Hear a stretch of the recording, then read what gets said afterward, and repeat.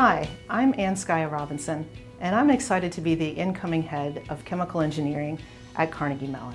So among the things I'm excited about joining the department, the collegiality of the faculty, the strength of the faculty in various areas, including process systems engineering, complex fluids, and also bioengineering, surface science, and catalysis. So among my goals for the department are to increase the interactions across the college and the university to increase the visibility of the department, to increase connections to alumni, to friends, and uh, to other supporters of the department. So since roughly 1970, in the biopharmaceutical industry, there have been an increasing number of protein therapeutics that have been produced. So most people are familiar with human insulin, which is produced by living systems. In our laboratory, we try to improve the production of biotherapeutics so that we can make these drugs more efficiently, more effectively, and more robustly so that we can improve the efficacy and safety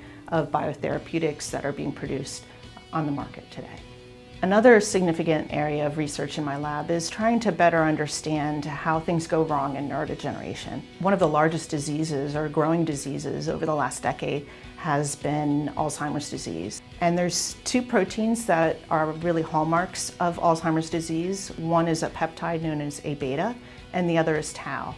And it's the tau protein that we're interested in understanding what goes wrong with it and uh, tau protein exists inside cells and we know that when things go wrong it misfolds and it no longer carries out its normal functions. So the analogy that I think of is when you take an egg and you scramble it to make breakfast in the morning, that scrambling changes the, both the texture and um, the taste of the egg.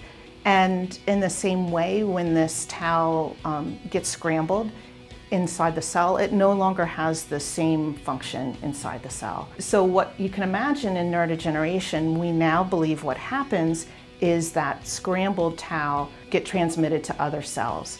So the analogy I like to use is it, imagine you take this scrambled egg and you put it back in your egg carton and all of the other eggs suddenly become scrambled. So this is a problem, obviously, if you want to use your eggs for other purposes. And so in a human brain, this is a, a big problem. So from a, a, personal level, from a laboratory level, I'm very excited to be joining Carnegie Mellon because of the interactions with people in physics and biophysics here and because of interactions with a lot of people doing complex modeling of what goes on in a lot of different systems and I think there's a lot of connections on that level with things that are going on in the medical side. So understanding complex problems, complex systems is very, very important. So all of these things make it uh, just an exciting place to be.